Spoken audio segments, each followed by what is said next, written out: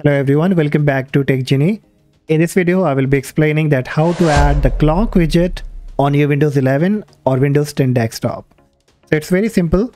What you will have to do, you will be getting the link in the description of 8 gadget pack.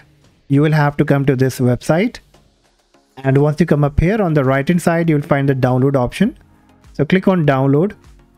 The downloading will be started. Once it get downloaded, you have to click on the downloaded file and the setup wizard will be up. Here you have to click on install. And the installation will now be started. Give all the permission. And once it get completed you have to click on finish. And now you have to click on your Windows search.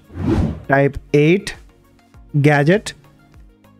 And in the suggestion you will be getting 8 gadget pack tools. Click on it this kind of box will be popping up.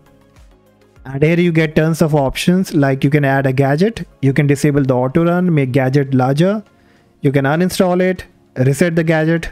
So you can open this tool to manage everything. So now let's see how you have to add the clock. First you have to click on add gadget.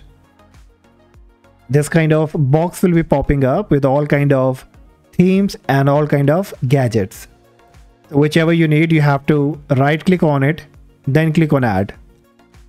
And now on the right hand side you can see the gadget the clock widget has been added. So you can just click and drag it wherever you want to keep.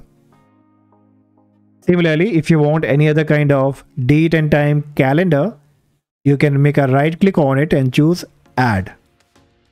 And the calendar will be also added and there are many more themes like CPU meter, CPU utilization, currency. You can just have a look on all of them, whichever you like. You can just make a right click on it and choose add clock widget. And if you want to go with the digital one, so you can make a right click and click on add. And it will be now coming up.